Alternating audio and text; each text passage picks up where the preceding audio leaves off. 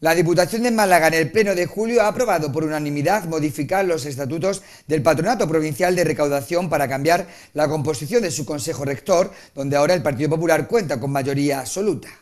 La Diputación aprueba en pleno un Consejo Rector del Patronato Provincial de Recaudación más representativo. La moción ha sido presentada por PSOE, Ciudadanos, Izquierda Unida Málaga para la Gente y Málaga Ahora y pretende un reparto en este organismo proporcional al número de escaños que tiene cada grupo. También ha salido adelante la propuesta para que las ofertas de empleo público de la institución se aprueben con consenso social y político, se convoque una mesa de trabajo efectiva para negociar la posición del equipo de gobierno y se reanude el diálogo con los sindicatos para acordar el plan de estabilización. La moción ha sido presentada por los grupos de la oposición, PSOE, Izquierda Unida y Málaga Ahora, y ha sido respaldada por Ciudadanos y el equipo de gobierno del Partido Popular, que ha añadido una enmienda.